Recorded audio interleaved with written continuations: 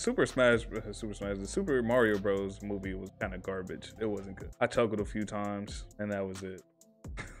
I guess the overall movie itself was an okay movie. Definitely made for kids, but it was uh, it was made for kids. It's a kid movie made for like adults pretty much people would understand the jokes and uh, appreciate the the easter egg story was kind of I wish it was like a Mario and Luigi movie. It's not. It's not even a Mario saves Princess Peach movie. Kinda is towards the end, but yeah, Donkey Kong isn't a big bad. Like, I mean, if you remember playing like the arcade games, I didn't really play the arcade games like that, but I I played them. I played a little bit of the games, and I understand that Donkey Kong's a big bad. You're saving Peach from Donkey Kong, pretty much. Uh, and uh, Donkey Kong wasn't a big bad in this movie. He was like, you can technically say he was one of the bosses, because um, in order for them to, spoiler alert, in order for them to gain assistance from the Kong dynasty, Mario pretty much had to beat Donkey Kong, right? In a in a in a arena match, and it's designed to it's set up like uh, their the original game where he's throwing barrels at them. It's got the the uh, support beams, right? Um, and shit like that, and um, get power ups and shit.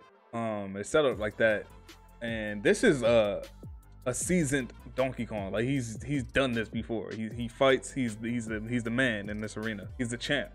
And then we get this vanilla Mario. He just came to this world, right? He's just now figuring out how things work, and he just learned how to actually use the power ups and fight and whatnot. So he's still he's he's, he's a novice at best, and he somehow beats Donkey Kong in the arena. First time, first time really fighting, right? He beats Donkey Kong, which is fucking ridiculous. Now, what I think should have happened was that Donkey Kong was the main villain, not Bowser in this movie. And I feel like there should have been some type of like war between the Kongs and the Mushroom Kingdom, where um, Mario comes, he comes to this new world, meets Peach, obviously falls in love with her. That's that's the thing, right? That's Mario and Peach. They're the thing. And she teaches him. She still has her like karate moves and shit like that. She's still like she's pretty much the same character. You can keep her the same. You ain't got to change anything about Peach. I loved her. Mario gets gets trained by Peach and stuff like that and then the Kongs invade for whatever reason. There's some sort of dispute between the Kongs and the Mushroom Kingdom, and so the Kongs like they invade. There's a big fight and whatever. Uh, one thing leads to another. The Kongs basically win and they kidnap. Right? They kidnap Peach or do something like in the, in this movie where uh, they threaten the Toad. Right? and she goes willingly. She cares. She surrenders herself willingly, and they take her to um, Kong Island or where they're from, their world now Mario and Luigi and Toad has to they have to go to their world to save Princess Peach, pretty much, right? and and they do that. That's that's my idea of a first movie. I feel like that would have been so much better. Uh, at the end of the movie, Mario saves Peach, um, and the Kongs have to accept their loss or whatever, and that's the end of the movie. They go back to the Mushroom Kingdom. It's the end. Mario goes back to Brooklyn, whatever.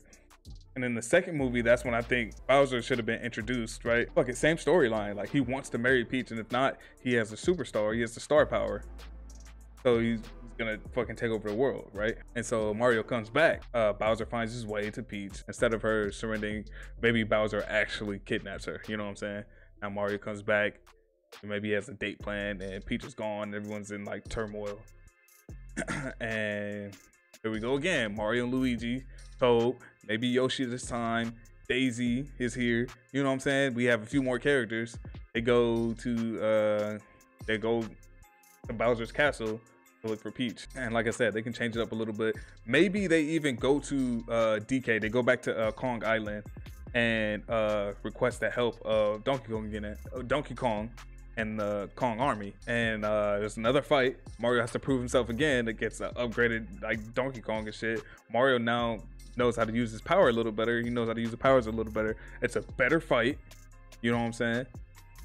um, we get more of the game, more of the original game in there mixed in. Maybe it's a team battle. You know what I'm saying? Maybe it's the other Kongs. Diddy, uh, what's the other one? Um, Dixie, Lanky, all of them. Tiny like or Teeny Kong, whoever it is. Like maybe it's a team thing. You know what I'm saying? We get more characters introduced, and uh, obviously Mario wins this fight. He uh, gains the trust or the respect. And he gains the Kong army, and they go to Bowser's castle and everything. Now they gotta fight the, the fucking uh, the Goombas. They gotta fight the, the Dry Bones. They gotta fight uh, who's the ghost's name? I can't remember the ghost.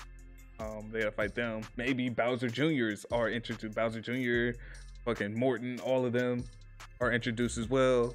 And you know what I'm saying? It's an all out war to get Princess Peach back. That would have been a great movie. And then like the trilogy, a third movie could have been like Waluigi and Wario introduced.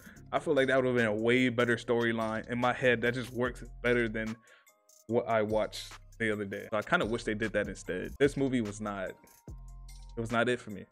Not it for me. I'm not a I'm not a super Super Mario fan or anything like that, but it just wasn't enough. I feel like we didn't get enough Luigi and Mario. After the, the trilogy, they could have went off and did like Luigi's Mansion. Uh, so I would score it. Best score for me for me to give it is probably a four or five out of out of ten. Like I said, I've seen worse movies. I've seen some pretty terrible. Movies. This wasn't the worst. Wasn't a bad. Pretty average. A little below average.